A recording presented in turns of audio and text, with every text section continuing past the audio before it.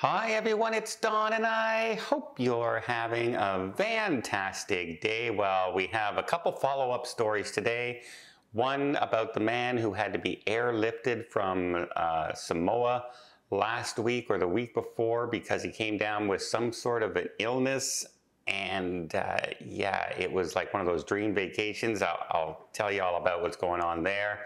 We have Carnival Cruise Line, uh, John Heald once again having to explain two rumors. Well, one rumor and one thing that's going on that I don't even know why somebody asked the question, but somebody did.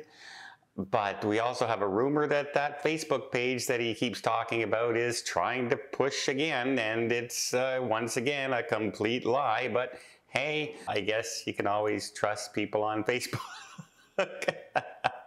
And then finally, we have an update with the government getting involved on that cruise ship that got stuck in that storm and didn't make it to port and had to ride it out in 50, 60 foot waves and 100 people injured. Well, now the government wants to know what the heck happened.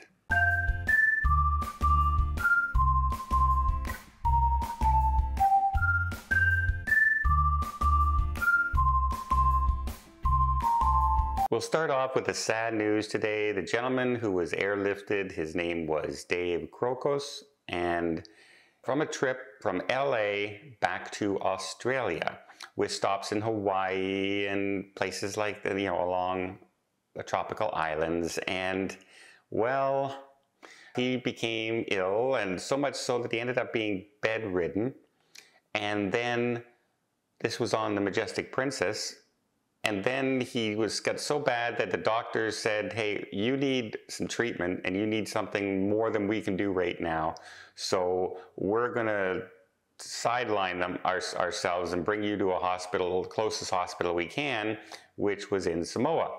They dropped him off there and then he had to be you know, they didn't even have the facilities for how severe he had become. He was having some very severe organ shutdowns and they couldn't understand why. They couldn't figure it out there. So arrangements were made. There was one cancellation of a flight, but they eventually did get him back on uh, November 4th back to Brisbane, uh, where unfortunately a few days later here, he has passed away to this mysterious illness. Family did say the ship did everything they could to help him out. And I'm glad to hear that because often when this kind of thing, the first thing that comes to some people's mind is sue the cruise line. But apparently the doctors were very good and they were trying their best and they got him to the closest hospital they could and so, as far as the ship is concerned, they literally did everything possible that they could. But again, it's sad news. Um, I was hoping it would have a happy ending, but some people were saying, So, what happened? Is he okay? And so, I thought I'd do the follow up on that. Speaking of follow up, well, the government now wants to know with that Saga cruise ship, the Spirit of Discovery, just what happened. How did you get stuck in this storm? Why were people's lives put in danger? How many, you know, 100 people getting injured on your ship, your ship getting damaged, being stuck in 50 foot waves is not a common occurrence on a cruise ship, especially a smaller luxury cruise ship. It's just not something that happens. And so they want to know what happened? Were there outlying areas saying, you know, the reasoning? Would, did somebody just make a bad call? Was somebody looking at the bottom line saying, no, if we get, you know, if we stay there, we don't have to refund this much money? Was it a financial thing? What was it? What was the cause? Was it just bad guessing on the weather? There's something caused this ship to be in that storm. There was a reason. It could have been just poor management or made a mistake. We thought it was less than it was and it turned out worse, that kind of thing. But the government wants to know when you come back and people's lives were at risk and there's a hundred people come off your ship injured, scared for their lives, texting people where their will is in case the worst happens, you know you're you've done something wrong. And yeah, that's where that stands. Next we have two things from Carnival Cruise Line that John Heald once again already uh, early in the week has to explain to people. And I, I don't I don't understand some of these things that happen for some reason. People like to pick on Carnival. While it's not my go-to cruise line, they definitely have some beautiful ships and and they have great entertainment on board. There's lots to do. They got roller coasters on board, water slides. There's a, there's a big Broadway show. There's lots to do on a Carnival ship, and there's lots of fun to be had. But some people just want to tear them down like uh, these next two stories. But before I get there, let me just invite you to hit that subscribe button if you haven't done so already. If you want to keep up to date with everything going on in cruising, from the brand new Celebrity Ascent, which I'm on in less than two weeks now, way less than two weeks.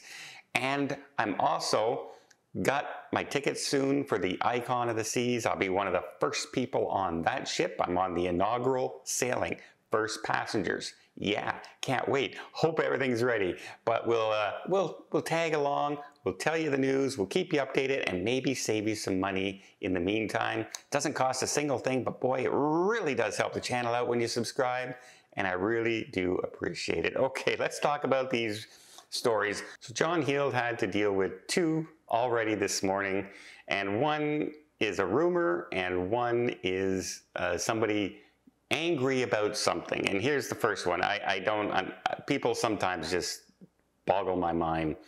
Carnival has millions of passengers who are smokers. They are all being treated like orphans.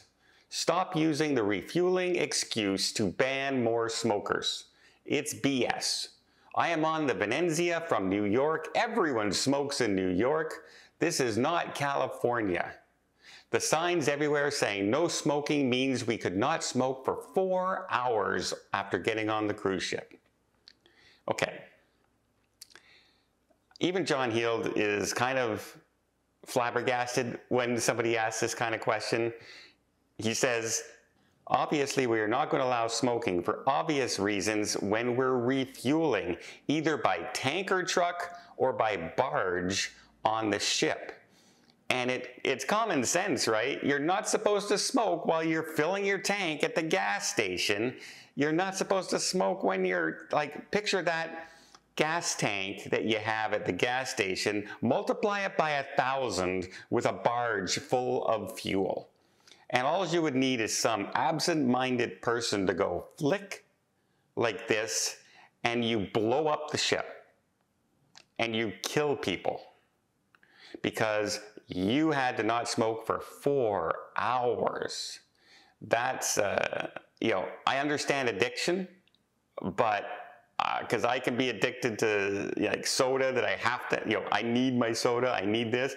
But if somebody tells me, hey, if you drink that soda in the next four hours, something might happen that you could actually blow up the ship. Also, fumes are emitted, and sometimes there's a, a, fuel, you know, spillage while they're doing it. There's all kinds of reasons not to smoke while they're fueling the ship.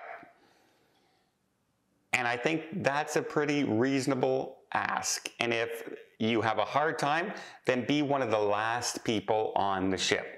Don't be early to the ship. Don't be the 11 o'clock person. Be the 3 o'clock person. That way, when you get on the ship, the refueling's done and you don't have to worry about it anymore. Simple fix. Next is that Facebook page is out, again that John Heald keeps referencing. Out, that they're full of VIP members and that they always start these rumors that are completely untrue. And the newest one that they've started is you're not allowed to take food from the buffet or the Lido deck to your cabin. I don't know a cruise line in the world that, that stops people from walking from the buffet back to your cabin. It's a well-known practice. It's out there. People do it all the time. And sometimes people do that just to save space from the main dining room. They don't feel like going up to the main dining room. They just want to relax in their cabin. They'll go up, fill up their things with buffet, and they'll go back to their room. Not too big a deal. And he says there is no truth whatsoever to this rumor. But of course, that Facebook page always says, yes, it is. It's absolutely true. No, no, once again, it's not true. They are not stopping people from taking food from the buffet. Well, Let me know what you guys think. Do you think, hey, smoking should be allowed when they're refueling the ships? I, I think that's a, I think that's a, a reasonable request. What do you think is going to happen with that government inquiry, if anything, about the cruise ship Spirit of Discovery getting stuck in that storm? Do you think um, some heads just might roll along the decision-making process on that ship? We'll see. Well, I hope you appreciate this video. If you did, please give it a thumbs up. To see more tips, more tricks, more travel blogs from around the world, hit that subscribe button. Until next time, have yourself a safe and a great vacation.